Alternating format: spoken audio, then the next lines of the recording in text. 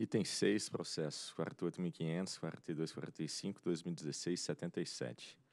Resultado da audiência pública 63 de 2016, instituída com vistas a colher subsídios e informações adicionais para o aprimoramento da regulamentação da portaria MME 388 de 2016, que trata dos termos e condições para prestação de serviço público de distribuição de energia elétrica por órgão ou entidade da administração pública federal. Diretor relator, Dr. Reive Barros.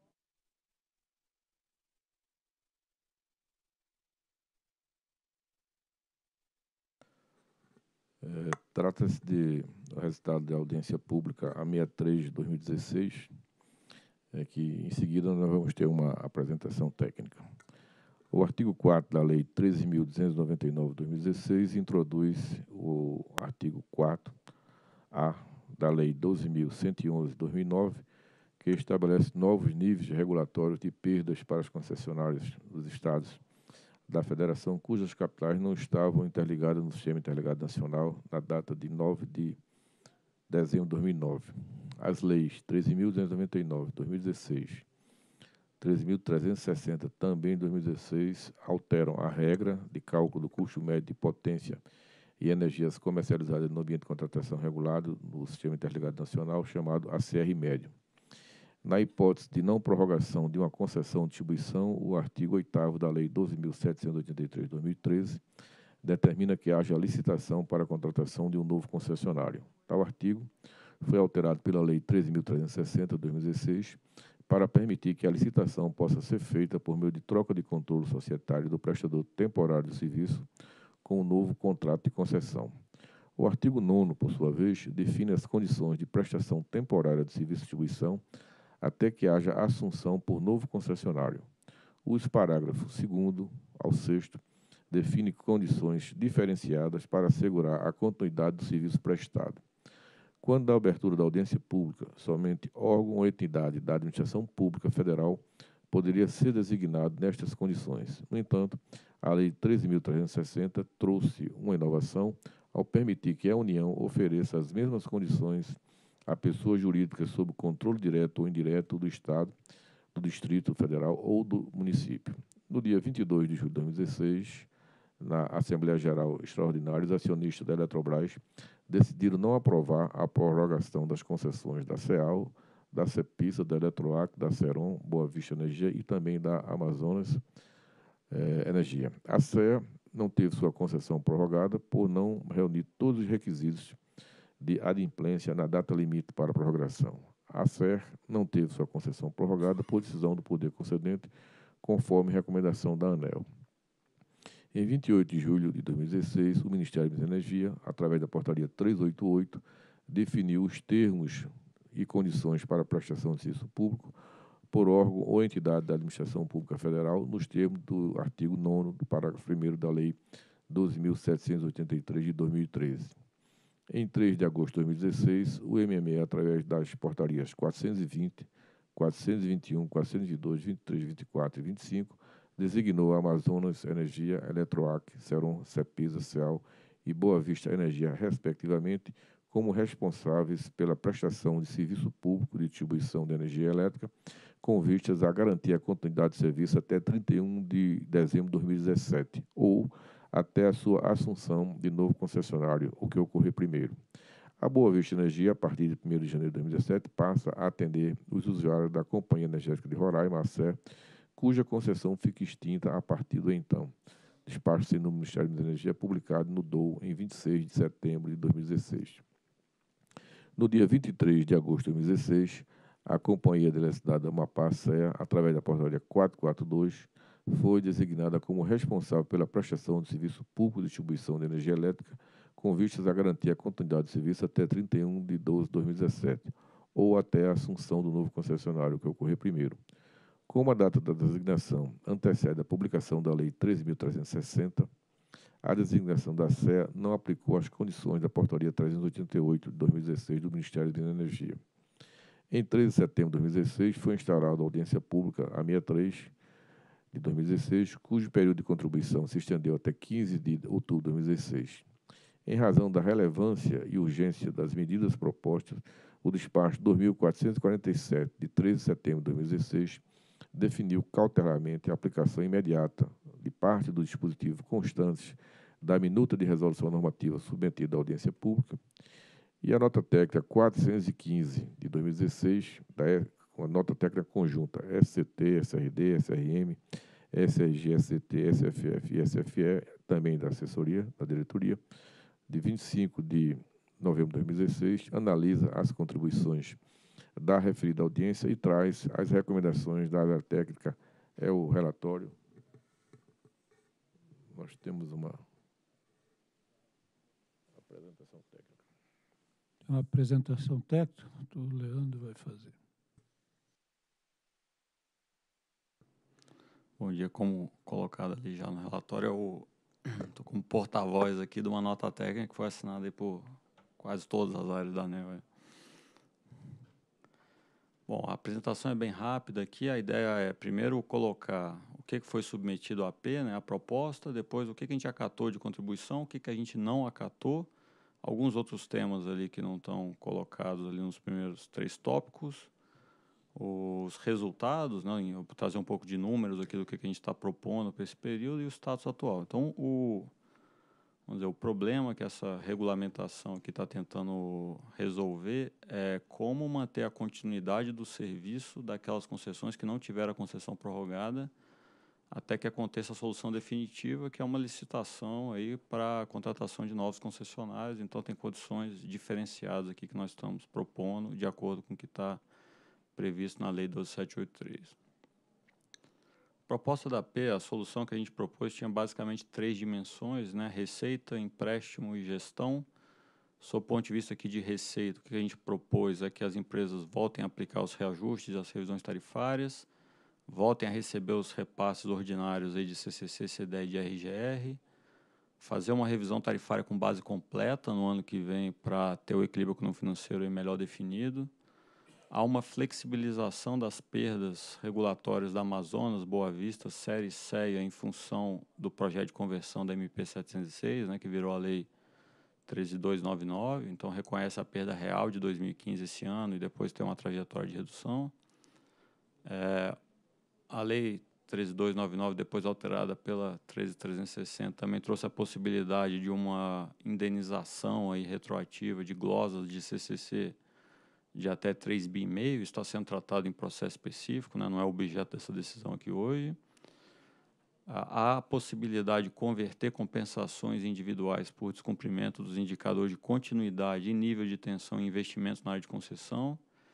Para a subrogação de CCC, a gente propôs é, antecipar o fluxo dos recursos, né? a lógica normal da CCC primeiro fazer a obra e depois ser indenizado, né? Então aqui a gente propõe algo parecido com o que é a lógica do Luz para Todos, onde o recurso vai sendo liberado à medida que a obra avança. E com relação à inadimplência dessas distribuidoras no período pré-designação, a gente abriu a possibilidade de utilizar os créditos que essas empresas têm junto aos fundos para pagar diretamente os credores dessas distribuidoras. Até a abertura da P, todas essas condições eram somente para distribuidoras federais. É, na dimensão dívida, ali, o que a gente propôs foi um empréstimo de recurso da RGR para garantir aquela condição mínima de sustentabilidade dos, dos contratos prorrogados, que é ter geração de caixa suficiente para os investimentos em reposição e para pagamento de juros da dívida. É, o custo do empréstimo seria um preço de mercado, 111% da Selic, e a gente propôs também uma carência, tanto de juros e principal, até 12 meses após a troca do controle, ou seja, quem vai de fato pagar o empréstimo é aquele que comprar a empresa numa licitação de troca de controle.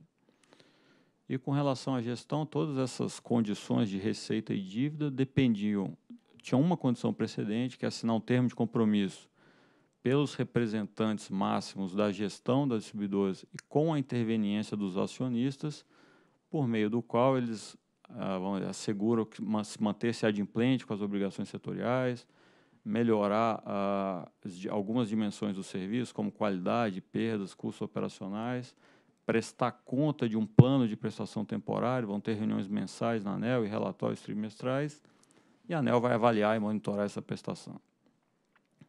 Então, em cada uma das três uh, dimensões, os principais pleitos acatados foram, um, a possibilidade de incluir a CEA, depende só de uma portaria do MME dizer, autorizando ela usar as mesmas prerrogativas da, das empresas federais. Com relação à inadimplência, né, o, houve bastante contribuição no, no, sentido de priorizar a CCAR, tirar quem é o credor da CCC. A gente acatou pagar somente o que é débito setorial em controvérsia. Então, por exemplo, a preocupação era de ter que pagar alguns credores da CCC, sendo que há uma certa controvérsia se o valor é devido pelo, pelos fundos setoriais. Então, por exemplo, a CCC hoje está tendo uma grande auditoria lá promovida pela CCE e acompanhada pela fiscalização, pela SFF, que está validando os repasses da CCC desde 2009 até hoje. Então, tratam-se, portanto, de valores controversos, ou seja, não há uma certeza de que é uma dívida setorial, ou seja, ou passivo de cobertura tarifária ou passivo de cobertura por um fundo. Pode ser uma dívida da empresa que não tem natureza, vamos dizer, setorial. Nesse caso, então, a gente segura o pagamento e vamos autorizar os pagamentos só do que está em controvérsia, como um CCAR, um encargo setorial, uma dívida com transmissor, etc., o que vai ser objeto de um ato específico autorizando esse repasse, mas a norma geral já prevê não pagar débitos em controvérsia. Com relação à dívida, também inclui-se a CEA, né, dependendo do mesmo parâmetro lá dessa portaria do MME. Houve contribuição no sentido de dar mais garantia a esse recurso, ou seja, caso não haja sucesso no leilão de privatização dessas empresas e seja necessário liquidar a empresa com indenização dos ativos, a ideia é descontar do valor a ser indenizado o que ela deve para o fundo, de modo a salvar o fundo e resguardar os recursos que forem emprestados. Além disso, foram acatadas algumas contribuições no sentido a gente ter um valor de referência para esse empréstimo, atualizar ele por, IPCA mês a mês, para ter um valor atualizado do valor a ser emprestado. E caso em determinado mês não haja recurso suficiente, a diferença vai ser remunerada para a Selic e, se houver recurso no mês subsequente, repassa o valor remunerado. E a última contribuição que a gente está acatando também é só para deixar clara, uma discussão que a ANEL aqui já fez, eu não posso cobrar cota da CDE para alimentar os empréstimos da RGR. Os empréstimos da RGR têm que ser feitos com recurso do fundo, que é o saldo que tem lá, os pagamentos de cotas de RGR e a reposição de financiamentos feitos. Com relação à gestão, a CEA, de novo, né, entra aqui no, no, nos mesmos parâmetros das federais. A gente está catando é, monitorar os indicadores internos de DECFEC, porque o, o, foco aqui é avaliar a gestão da distribuidora, então vamos focar no que ela de fato tem gestão. A Boa Vista, por exemplo, é um exemplo de que tem um grande problema no suprimento. Né, e agora a gente tem métricas bem objetivas para o que a empresa tem que atingir no final do ano que vem, tanto para perdas, DEC-FEC interno e custos operacionais, tudo isso está sendo homologado, o desempenho que a gente vai monitorar ao longo do ano que vem. E tem uma discussão longa que se arrasta há tempos, que diz respeito à indenização das redes particulares da Ceron, o que a gente está propondo é, em razão aqui da mudança de paradigma, de ter acabado uma concessão, da prestação temporária com foco um pouco diferente, que a Ceron inclua no plano de prestação temporária dela como que cronograma e que valores ela pretende fazer a indenização para que a gente possa posteriormente avaliar e aprovar a revisão desse, desse período aí de indenização das redes particulares os principais pleitos não acatados. Né? Houve um pleito de flexibilizar também as perdas da Ceron Eletroacre, mas as duas capitais estavam já interligadas ao SIM em 9 de dezembro de 2009 e aí não cumprem os requisitos da lei para ter a flexibilização. Houve contribuição de incluir as compensações decorrentes de atividades comerciais naquela conversão em investimentos. O que a gente viu é, primeiro, os valores não são muito representativos e depois que as indenizações de atividades comerciais não estão correlacionadas com investimentos. Então, converter para investimento não necessariamente vai resolver o problema que tem gerado a, as indenizações aí por atividades comerciais. Então, a gente acha que é tirar um direito do consumidor sem ter a contrapartida de, de resolver o problema. Com relação à subrogação, houve pleito de elevar o percentual de 75% para 100%. O nosso entendimento ah, não foi dada competência para a ANEL fazer esse movimento.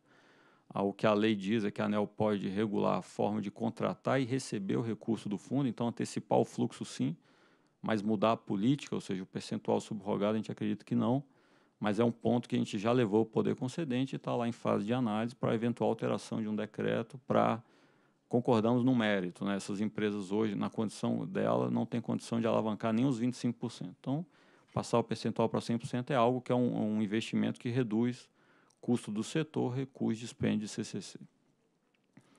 E com relação ali à inadimplência, houve contribuição de a gente obrigar as empresas a usar todo e qualquer crédito que eles tenham junto aos fundos. A gente acha que não cabe ao regulador entrar na gestão da distribuidora, ela pode resolver o problema da inadimplência de outra forma que não seja utilizar esses créditos, mas o fato é que na fase de monitoramento nós vamos cobrar que resolva, seja usando a prerrogativa que nós demos, seja alguma outra forma que a Eletrobras venha resolver lá o problema da inadimplência.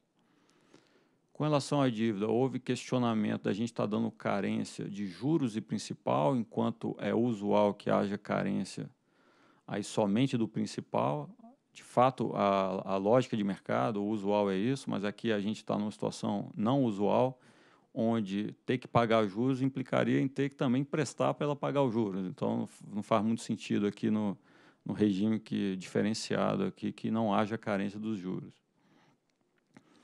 E na fase de gestão, a Eletrobras questiona ter que melhorar o serviço. A gente acha que a partir do momento que você tem aplicação dos reajustes, repasse dos fundos e também empréstimo da RGR, você tem que cobrar melhoria do desempenho dessas empresas, até porque é a melhoria do desempenho que vai ajudar o próprio processo de, de licitação e venda dessas empresas, que é a solução definitiva para adequar o serviço prestado alguns outros temas aqui. O regime excepcional de sanções, a gente só está fazendo um esclarecimento que inclui também penalidades por descumprimento das metas de universalização, ou seja, assim, assim como não faz sentido emitir TN agora durante a fase de prestação temporária, também não faz sentido reduzir a tarifa dessas empresas, dado que o contrato de concessão já se encerrou e as metas não foram cumpridas na, na vigência daquele contrato. E, havendo penalidade definida pela diretoria de termos de notificação emitidos antes do período de designação, a proposta é que haja a inexigibilidade do crédito, para que não haja um problema de caixa, desde que a empresa renuncie à prescrição e se comprometa, vamos dizer, a, fica uma dívida para ser paga por quem comprar essa concessão. Ah, no caso da SER, só tem uma particularidade com, re, com relação ao percentual regulatório de perdas, não teve processo tarifário em 2015, então a aplicação da, direta da lei, ela não é, a aplicação da lei ela não é direta, a gente tem que fazer aqui uma interpretação, que a gente está propondo é utilizar como referência o despacho 580-2016 da diretoria, onde é aprovada e encaminhada para o Ministério uma nota técnica da SGT que faz uma análise do equilíbrio econômico-financeiro da SER, foi até o, o, que levou a ANEL a propor a não prorrogação daquela concessão. Então, ali tem toda uma análise do que seria um nível regulatório a ser utilizado nos processos tarifários da SER, que é o objetivo da lei. Partir do nível real para chegar no nível regulatório lá em 2025. Plano para prestação temporária de serviço. É, houve algumas cartas da Eletrobras pedindo mais prazo para mandar, e como a gente está mexendo em alguns parâmetros a ideia é dar mais 10 dias depois da publicação dessa norma agora para que eles finalmente encaminhem. Isso já está bem avançado na Eletrobras, esses 10 dias não seriam um problema. E para a SEA, como ela está sendo incluída agora, 30 dias contados da portaria do MME, que dá a ela as mesmas condições das outras, para que haja tempo de, de fazer o mesmo plano e encaminhar para a gente monitorar. E, por fim, esse plano de prestação temporária, que ele vai ter vigência a partir do quarto trimestre de 16, ele substitui para essas empresas o plano de resultados.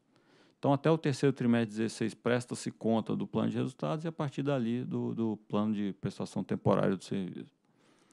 E aí, os resultados, né? trazendo um pouco dos números aqui que estão sendo homologados, essas seriam as novas trajetórias a serem consideradas nas tarifas e nos repasses da CCC, Aqui, só para ficar claro, não é uma escolha da ANEL, é uma imposição da Lei 13.299, até porque a gente vê que são níveis extremamente elevados, principalmente para Amazonas e Serra, né?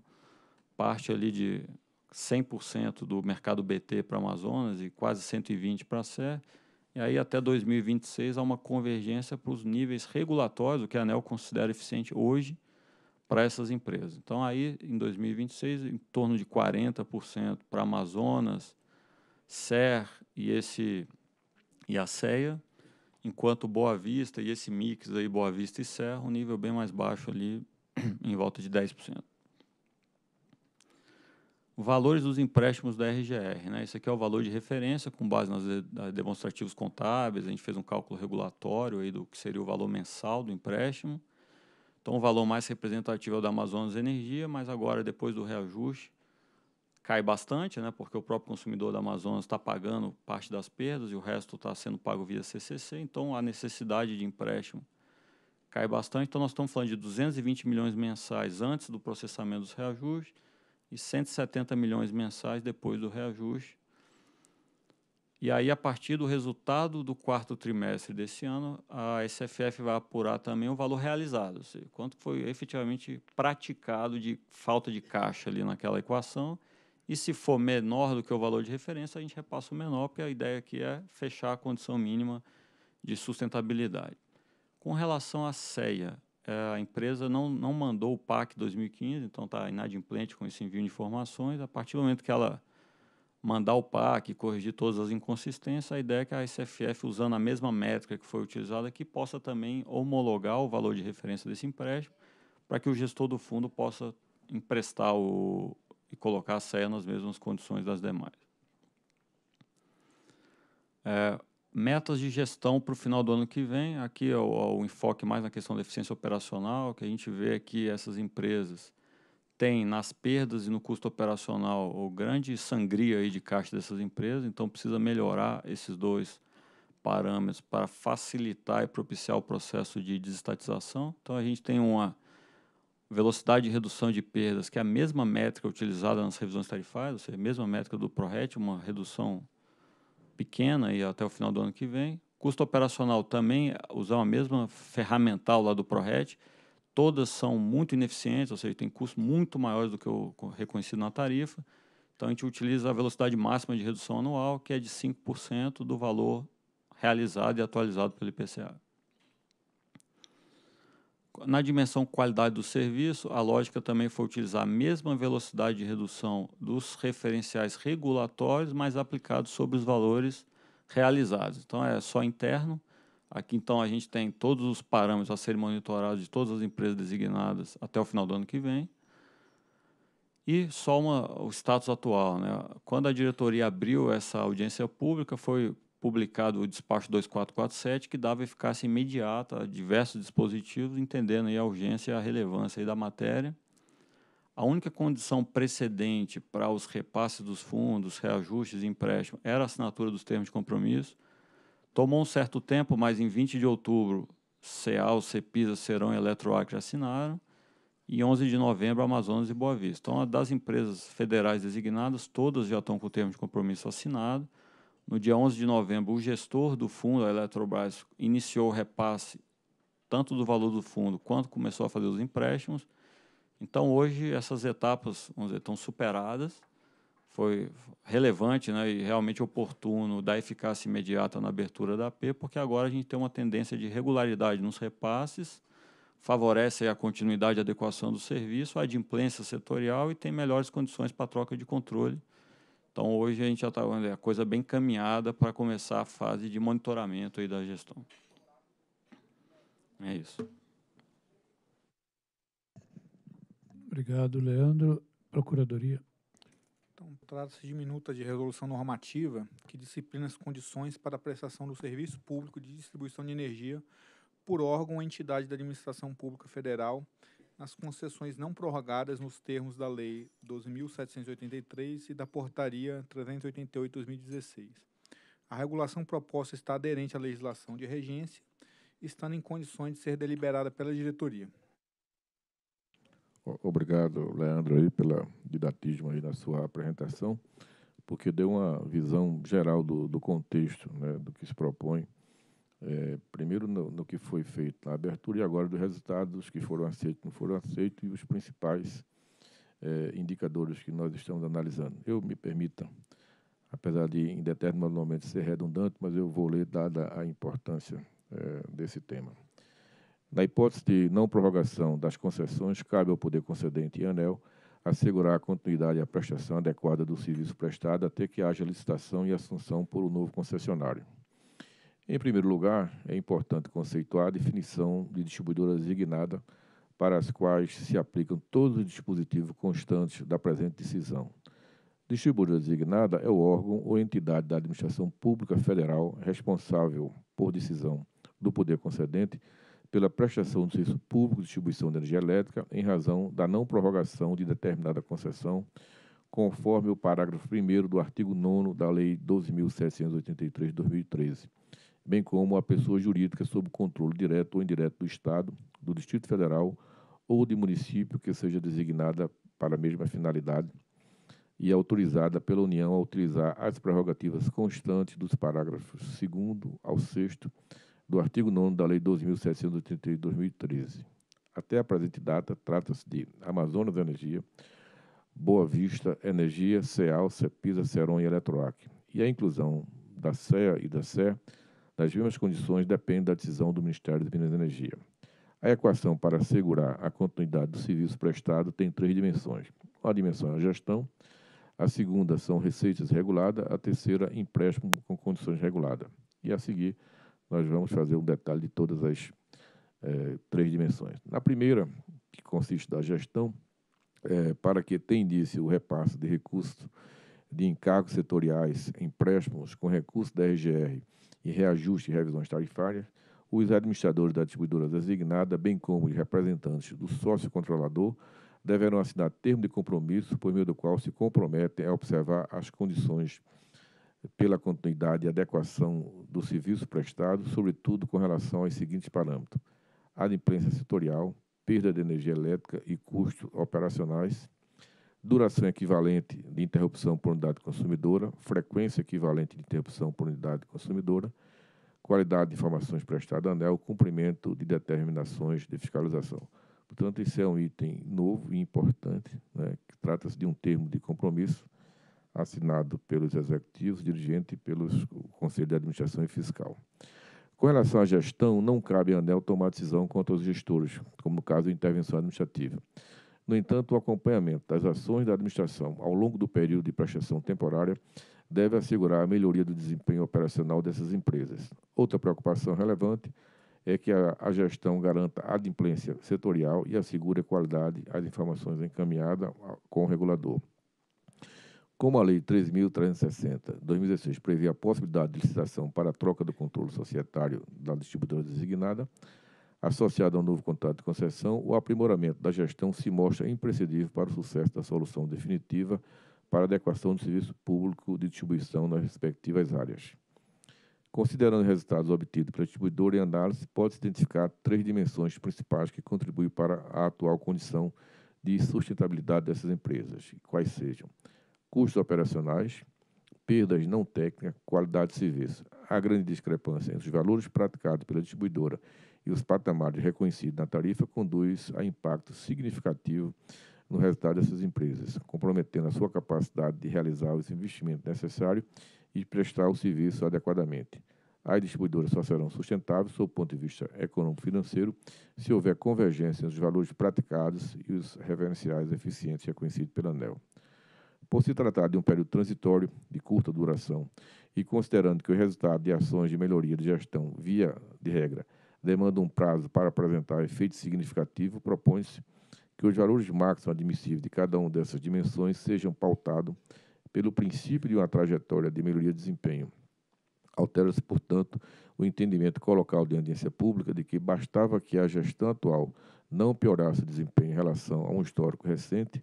Essa alteração de entendimento é fruto de novas análises e discussões sobre o assunto, ponderando-se que as distribuidoras estão recebendo recursos setoriais para operar as redes. E aí eu faço um parêntese entendendo que os resultados eles serão obtidos na nossa avaliação, alguns de médio prazo, que dependem fundamentalmente do investimento que estão sendo alocados, mas outros nós entendemos que, é, que cabe é, efetivamente a gestão, esse sim, é possível conseguir com a gestão eficiente. Daí a nossa preocupação de fazer um acompanhamento periódico né, junto com a, essas concessionárias, e não temos dúvida nenhuma que os resultados de uma gestão eficiente nós teremos no curto prazo.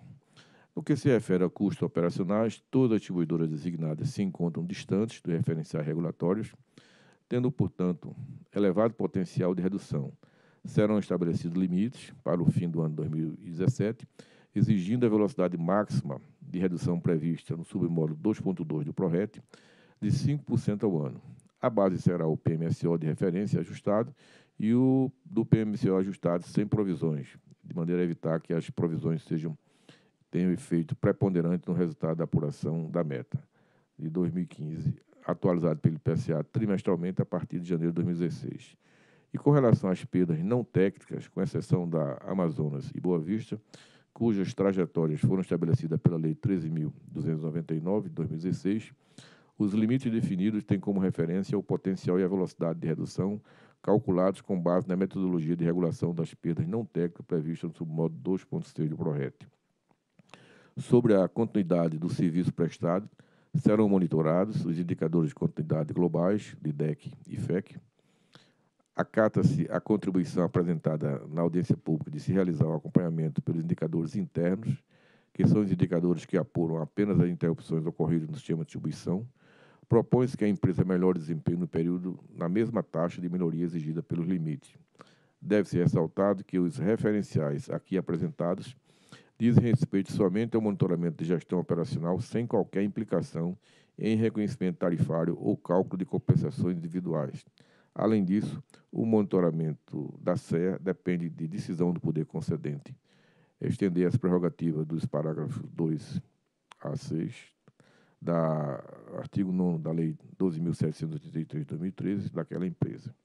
A tabela a seguir ilustra os limites propostos para cada uma das distribuidoras designadas para fim de apuração do resultado de custos operacionais, eh, os referenciais deverão ser devidamente atualizados pelo IPCA. Então, nessa tabela, nós temos um limite para fim de 2017 para a gestão operacional, considerando os indicadores, eh, PMSO ajustado, PMSO, eh, as provisões, considerando por empresa o valor apurado, o limite de 2017 e uma proposta aqui de variação é, e por item e global.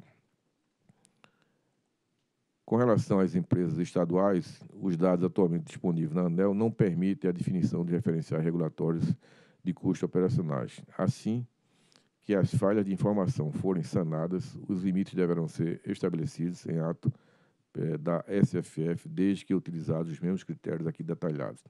Adicionalmente, a empresa deverá também manter-se adimplente com as obrigações intrasetoriais no período em que começar a receber os recursos de empréstimo. Na prática, isso significa que não deverão constar registros no cadastro de inadimplentes do setor elétrico relativos ao período compreendido entre a data da designação e a assunção do, do serviço público de distribuição de energia elétrica por novo concessionário a ser escolhido por meio de licitação. Por fim, propõe-se que a liberação de recursos também esteja vinculada a um compromisso das empresas com a qualidade das informações prestadas à ANEL, que deverão ser assinadas pelo dirigente máximo da distribuidora após serem atestadas por um conselho fiscal. Resumidamente, o acompanhamento e monitoramento da gestão durante o período de prestação temporária de serviço de distribuição observará os seguintes passos. Esse aqui é o fundamental. Um termo de compromisso. Os dirigentes máximos da distribuidora designada deverão assinar o termo de compromisso, por meio do qual se compromete a encaminhar o plano de prestação temporária de serviço de distribuição, que demonstre como preservar a continuidade do serviço, iniciar a convergência aos referenciais regulatórios de qualidade e eficiência, além de viabilizar o processo de licitação. Também se compromete a prestar contas a respeito da execução do referido plano. A assinatura do termo é condição precedente para a liberação de recursos de CCC de CDE e RGR, do empréstimo com recursos da RGR e da aplicação de reajuste e revisões tarifárias. Também um, tem, deverá ser apresentado um plano de prestação temporária de serviço, isso em 10 dias, contados da publicação da resolução normativa, e o representante máximo dos distribuidores e do acionista controlador de cada empresa deve encaminhar à ANEL um plano para prestação de serviço até 31 de dezembro de 2017, por meio do qual deverá detalhar as ações a serem empreendidas para iniciar o processo de adequação do serviço aos referenciais eficientes de perdas, custos operacionais e continuidade de serviço definido pela ANEL. Também uma prestação de conta mensal. O dirigente mato de cada empresa deverá comparecer mensalmente em ANEL a partir de janeiro de 2017 para prestar contas a respeito da execução do plano de prestação temporária de serviço, apresentando resultados alcançados em cada um dos indicadores de monitorado bem como as ações implantadas em fase de implementação para o cumprimento do referido plano.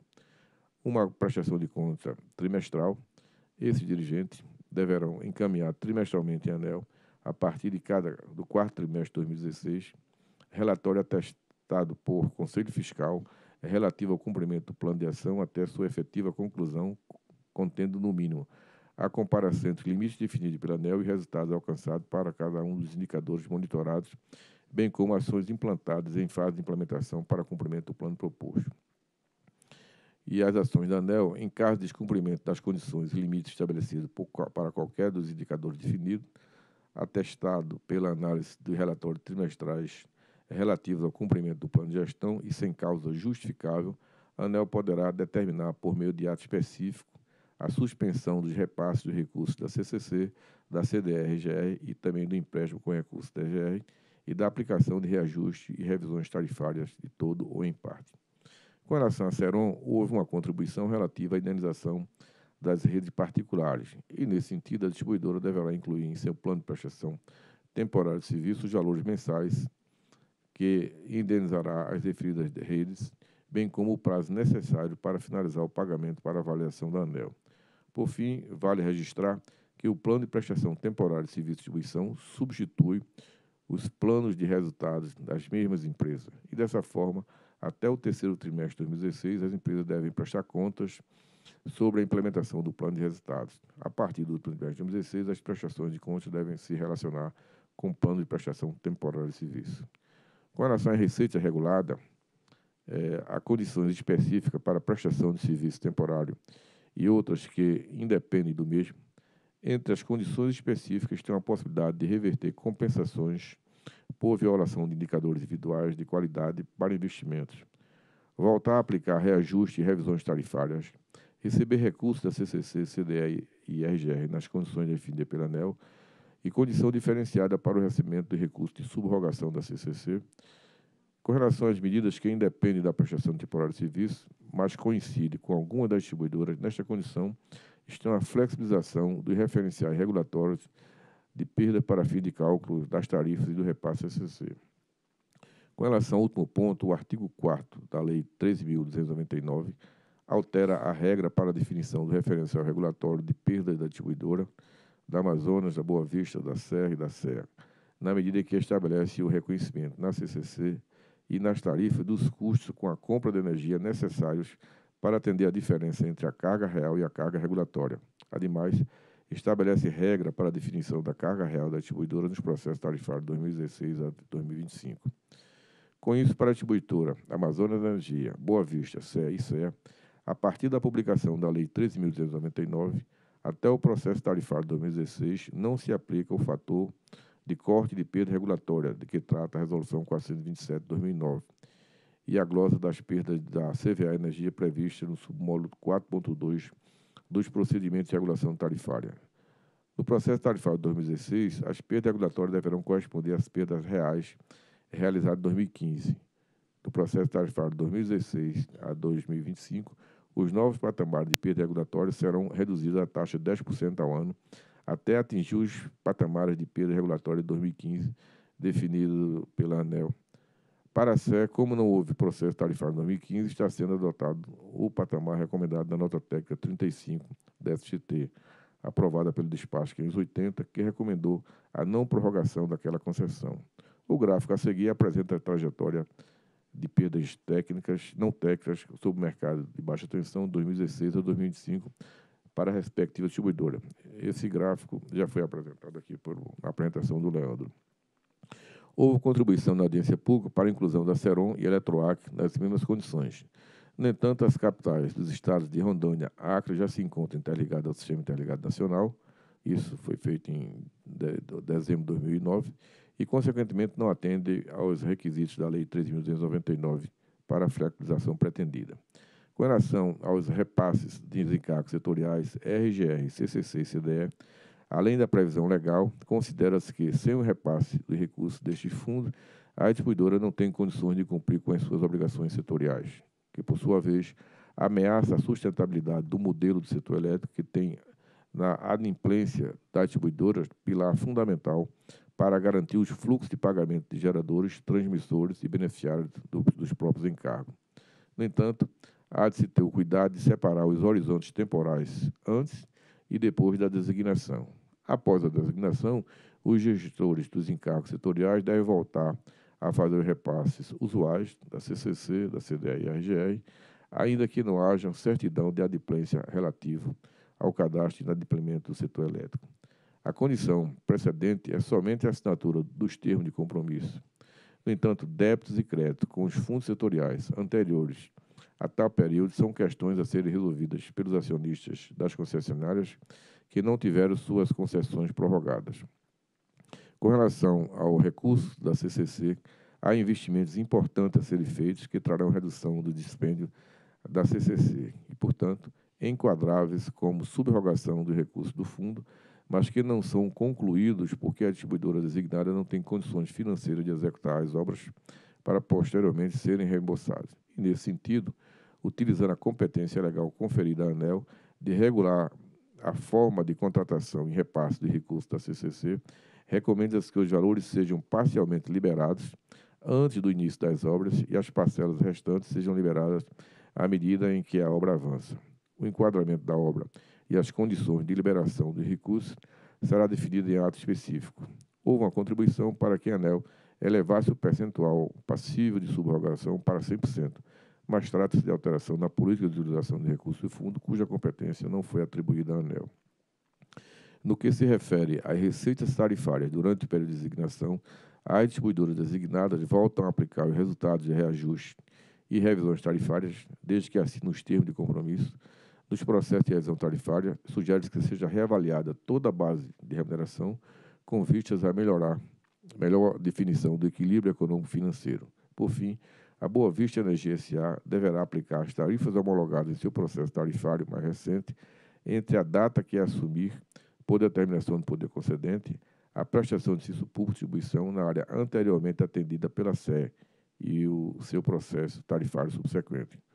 Com relação às compensações individuais, embora tenha havido contribuição da audiência pública, no sentido de estender o tratamento diferenciado às compensações relacionadas a atividades comerciais, preserva-se a proposta submetida à audiência pública de que as distribuidoras designadas possam converter somente as compensações individuais relacionadas aos indicadores de continuidade e conformidade em investimento na área de concessão, contabilizando os valores apurados como obrigações especiais.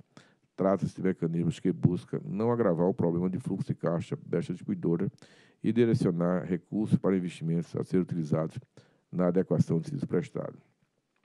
Com relação aos empréstimos da RGR, a ANEL deverá regular as condições dos empréstimos do recurso da RGR para assegurar a condição mínima de sustentabilidade da distribuidora em regime temporário, ou seja, assegurar que haja recurso suficiente para garantir o cumprimento das obrigações intrasetoriais, no caso, compra de energia, transmissão de energia em encargos setoriais. As despesas para operação e manutenção relativas à atividade de distribuição e os investimentos mínimos em reposição, além do pagamento de juros da dívida. Conforme a orientação do MME, através da portaria 388 de 2016, será operacionalizado o empréstimo com recurso da RGR para atender o conceito de remuneração adequada do que trata o parágrafo 6 do artigo 9 da Lei 12.783 de 2013, o conceito de remuneração adequada foi definido pelo poder concedente, de acordo com a condição mínima de sustentabilidade dos contratos de concessão prorrogados, ou seja, assegurar que haja geração de caixa suficiente para os investimentos em reposição de ativos e pagamentos dos juros da dívida. Em razão da fragilidade das informações contábeis das distribuidoras, as áreas técnicas propuseram a adoção de um cálculo regulatório detalhado da nota técnica, cujos resultados são reproduzidos na tabela a seguir. Então, nessa tabela, nós temos os valores é, referencial de empréstimo com recurso da RGR, é, por empresa, a Manaus Energia, Boa Vista, Cel, Cepisa, Ceron, Eletroac, e o total, considerando os itens de VPB regulatório, perda de geração e perda de distribuição. Isso com relação ao primeiro aspecto. Segundo, é, o PMSO Caixa 2015, os ajustes de PMSO ajustado. Os EBITA, considerando que QRR e juros, também o RR após o reajuste tarifário 2016 e os valores mensais. tal sorte que os valores mensais a serem considerados, aquele valor de 200 milhões mês, sem o reajuste, e após o reajuste, a expectativa de liberação de 170 milhões de mês mensalmente. Portanto, serão emprestados aproximadamente 220 milhões, isso antes do reajuste, e 170 milhões após o reajuste. Essa é a nossa expectativa. De partida, empresta o menor valor entre a disponibilidade de recursos da RGR e os cálculos referenciais apresentados na tabela anterior. Posteriormente, a SFF também irá apurar os resultados efetivamente realizados e, caso sejam menores do que os valores referenciais, deverão ser aplicados os valores realizados. Além disso, na hipótese de o poder concedente autorizar a SEA a utilizar as prerrogativas dos parágrafos 2 ao 6 do artigo 9 da Lei 12.783, e desde que a empresa saneie informações financeiras encaminhadas à ANEL, a SFF também poderá homologar os valores a serem emprestados à distribuidora utilizando a mesma metodologia empregada para as demais distribuidoras. Resumidamente, a carência para que a amortização só tenha início após a assunção do serviço do novo concessionário, além da taxa de juros refletir a condição de mercado de 111% da Selic, a tabela a seguir apresenta em si as condições de empréstimo.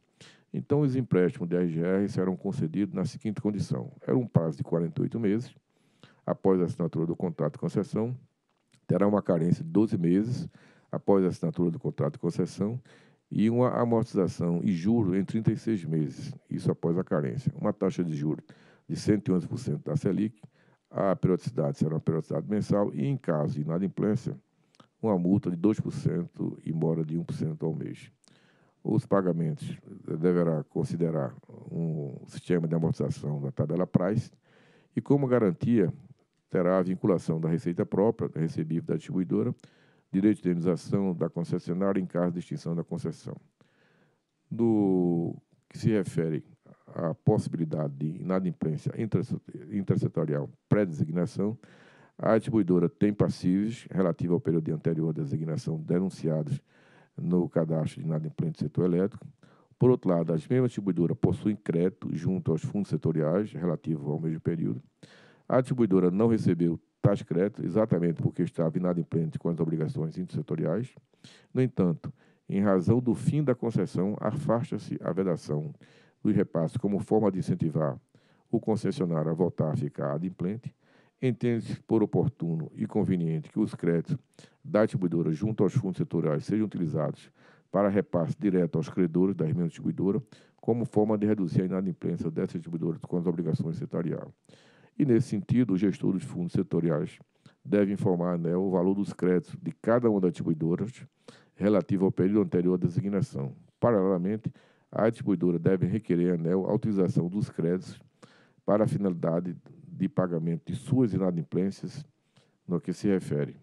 Uma vez considerados elegíveis ao pagamento, o gestor dos fundos setoriais será autorizado por ato específico a transferir os créditos junto aos fundos setoriais diretamente para os credores dos concessionários de distribuição.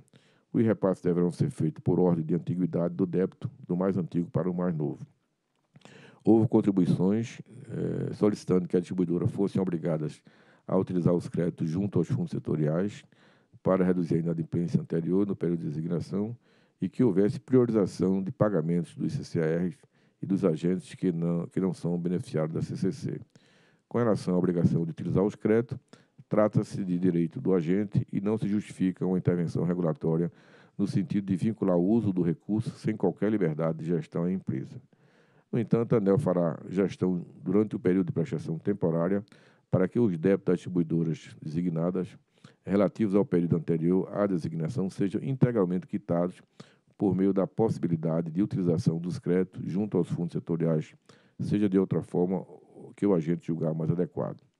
Com relação à priorização da utilização dos recursos dos fundos setoriais, mantém-se a recomendação de que os pagamentos sejam feitos por antiguidade do débito da distribuidora, do mais antigo para o mais recente. No entanto, só devem ser quitados os débitos incontroversos, ou seja, aquele que não resta dúvida de que são passivos de cobertura tarifária ou por fundo setorial, e não o débito da empresa sem possibilidade de repasse para as tarifas ou fundos setoriais. Dentre os créditos controversos estão, por exemplo, os valores devidos aos fornecedores de combustíveis em sistemas isolados. A dúvida relevante é que se são passíveis de repasse para o fundo CCC, dado que ainda não há uma conclusão quanto ao processo de auditoria barra fiscalização que definirá com clareza quais os valores são passivos de repasse para a CCC, quais os valores foram glosados, mas também são passivos de cobertura por meio de 3,5 bilhões de bonificação de outorga, e quais os valores foram desembolsados pelas concessionárias de distribuição, mas não são passivos de repasse por nenhum mecanismo mencionado. Neste último caso, trata-se de dívida distribuidora sem possibilidade de repasse intrasetorial. Com relação ao regime de sanções, verifica-se que a aplicação de sanções às empresas, regida pela portaria do MME 388-2016, teria como efeito agravar ainda mais a situação econômico-financeira com um provável reflexo na qualidade do serviço por elas prestado. Com efeito, é, a deterioração da qualidade do serviço é justamente o oposto do que se busca com o estabelecimento de condições especiais para a prestação de serviço de público de distribuição de energia elétrica por órgão ou entidade de administração pública federal, bem como a aplicação da penalidade, não é a principal função da ação fiscalizadora da ANEL, que, nos termos do decreto 2335-97, visará primordialmente a educação, a orientação dos agentes do setor de energia elétrica. E, nesse sentido, recomenda-se que seja estabelecido um regime excepcional de sanções regulatórias a ser aplicado a distribuidoras designadas, contemplando um caráter exclusivamente orientativo e ou barra determinativo, sem a imposição de penalidade das ações fiscalizadoras cujos termos de notificação sejam emitidos durante o período de designação. Cumpre esclarecer que o regime excepcional de sanções regulatórias proposto também deve ser aplicável a eventuais penalidades relativas a não cumprimento de metas de universalização estabelecidas. Adicionalmente, no sentido de não aprofundar o desequilíbrio econômico-financeiro da distribuidora, deve ser autorizada a suspensão da exigibilidade das multas irrecorríveis e de recorrente das ações fiscalizadoras cujo termo de notificação tenham sido emitidos anteriormente à designação, mediante a apresentação do termo de renúncia à prescrição do processo garantido, garantido seu pagamento ao término do período de designação por novo concessionário. Diante do exposto, recorte de processo 48.500.00.4245, barra 2016, dígito 77, voto por aprovar a resolução normativa conforme minuta anexa, que disciplina os termos e condições para prestação de serviço público de distribuição de energia elétrica por distribuidora designada até a assunção por novo concessionário. Também é, por aprovar uma resolução homologatória conforme minuta anexa, com os limites de perdas a serem utilizados nos processos tarifários da CEA, SER, Amazonas, Energia, Boa Vista, até o processo tarifário 2025, os limites de perdas, custos operacionais daqui FEC a serem atingidos ao final do ano 2017 pela distribuidora designada, bem como o valor da remuneração adequada de referência a ser utilizado no empréstimo da RGR, e também determinar que a SFE realize fiscalização com apoio da SGT para validar os índices de perdas realizados pela SER no ano 2015. É o voto. Em discussão. Bem, aqui eu só queria ressaltar e parabenizar aí toda a equipe que estiveram envolvidos, né, como foi visto, a nota técnica é subscrita por um conjunto grande das áreas, né, com o envolvimento da assessoria, assessor de cada diretor, e coordenada aí pelo assessor Leandro. Realmente foi um trabalho desde a abertura, eu acho que muito muito bom. Agora com o resultado da audiência pública, inclusive a ANEL tendo essa, presente essa preocupação de se antecipar lá, no caso, cautelarmente colocando em vigor a, a regra, tendo a sensibilidade que essas empresas já não vinham numa situação favorável, digamos assim, né, e com a situação da designação, eu diria mais precária ainda. Então, essa cuidado que a proposta do diretor Reive traz, ela é muito relevante para manter essa vigilância. Quer dizer, agora em sendo empresa que não tem contrato de concessão, mas são empresas, portanto, como disse o Leandro, não há aqui como a ANEL fazer uma gestão, uma intervenção na gestão.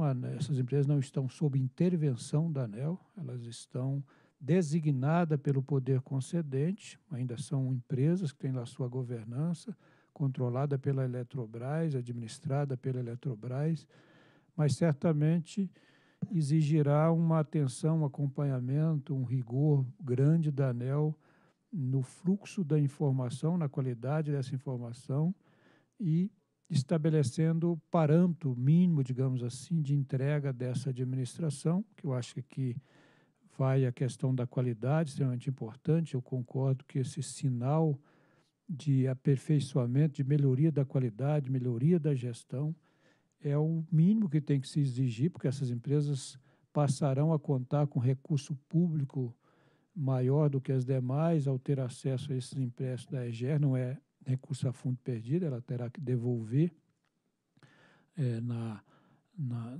por ocasião da transferência do controle, essa exigência será na forma de empréstimo. Né? Essa proposta de flexibilizar a questão da CCC, eu acho que é muito importante também, é, subrogação, pra, porque essas empresas não têm como alavancar, eu concordo, recurso, inclusive ampliar para 100%, porque vem na direção de reduzir o nível de subsídio. E eu acho que essa exigência de migrar, porque essas empresas, quase todas, se não todas, estão no chamado plano de resultado, para esse plano mais rigoroso, com controle mais rígido e até uma periodicidade mais curta também, eu acho que é fundamental. E eu acho que essa sinalização de que entre essas exigências está a de manutenção da adimplência com as obrigações intersetoriais é fundamental, porque isso é um sinal que nós tínhamos é, muita preocupação, estávamos sempre vigilantes cobrando de, das empresas, da própria Eletrobras como controladora, de é, colocar em dia essas obrigações é, intrasetoriais, inclusive os contratos, suprimento, a liquidação no âmbito da CCE e os contratos regulados, porque isso é um pilar do modelo setorial, o fluxo de pagamento. Então, essa exigência da, também do pagamento das obrigações intersetoriais é é algo fundamental.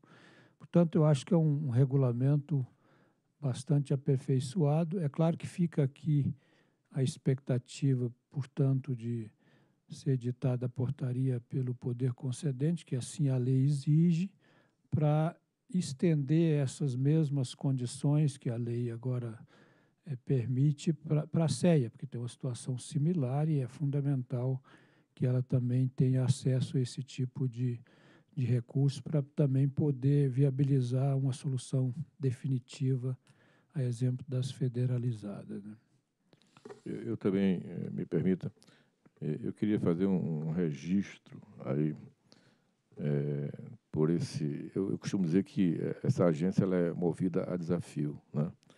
Evidentemente, com relação às empresas controladas pela Eletrobras, é, existia duas hipóteses. A Eletrobras é, concordaria em é, aprovar a prorrogação das concessões, consequentemente a vida segue, e a Eletrobras fazer uma outra opção, que é que foi que prevaleceu, que decidir não aprovar a prorrogação. Então eu lembro que essa decisão da Eletrobras ela foi tomada no dia 22 de julho de 2016. Nós estamos falando de julho de 2016. A partir disso aí, houve todo um esforço aí é, de uma força-tarefa é, da ANEL, evidentemente também com a participação do Ministério da Energia, e aí nós tivemos é, nessa força-tarefa, eu quero destacar, Leandro, a coordenação é, de Leandro, é, com os demais assessores e também o envolvimento de todas as superintendências nesse processo. E nós estamos hoje, né, no dia 29, deliberando após ser submetido a uma audiência pública. Quer dizer, tudo é um fato novo, quer dizer, isso aqui não tinha nenhum precedente, quer dizer, nós estamos construindo uma alternativa de solução e na nossa avaliação, fruto da experiência dessa casa, também é, trata-se de um regime temporário com vista a uma expectativa é, de uma privatização, mas mesmo assim não só assegurando o recurso, mas tendo todo o cuidado com a aplicação desse recurso mediante Aí eu destaco dois pontos importantes. Não só a assinatura do termo de compromisso, mas também um acompanhamento permanente, mensal, com registros trimestrais dessas empresas. E aí, como eu insisto nesse tema, eu faço um, uma aposto muito na gestão, acho que gestão tem um espaço muito grande, pelo menos o número cabalístico que eu tenho. Uma boa gestão, independente de aplicação de recursos, consegue dá uma solução na nossa avaliação em torno de 30%. Quer dizer, então, acho que quero destacar, primeiro, a competência dos nossos colaboradores, a dedicação, o compromisso e esse desafio que nós temos aqui a cabo de quase dois ou três meses, concluindo um processo na nossa avaliação exitoso. Portanto, eu quero fazer esse registro aí, agradecendo aos colaboradores, dizendo que isso dá uma visão é, de que existindo um desafio, não tenha dúvida nenhuma que nós estamos, digamos assim, preparados para dar uma resposta é, não só conveniente, mas concreta, mas no prazo que for necessário. E em votação. Voto com o relator. Também voto com o relator. Proclamo que a diretoria então decidiu por aprovar a resolução normativa que disciplina os termos de condições gerais para a prestação de serviço público de distribuição de energia elétrica por distribuidora designada até a assunção por novo concessionário. Resolução homologatória conforme também minuta anexa com a, os limites regulatórios de perdas a serem utilizados nos processos tarifários da CEA e CER Amazonas Energia, Boa Vista Energia, até o processo tarifário de 2025, os limites de perdas, custos operacionais, DEC e o FEC internos a serem atingidos ao final do ano de 2017 pelas distribuidoras designadas, bem como o valor da remuneração adequada de referência a ser utilizado nos empréstimos da RGR. E, por último, determinar que a SFE realize fiscalização com o apoio da SGT para validar os índices de perdas realizados pela SER no ano de 2015, que é o necessário para o referencial lá das perdas mencionado. É, próximo item.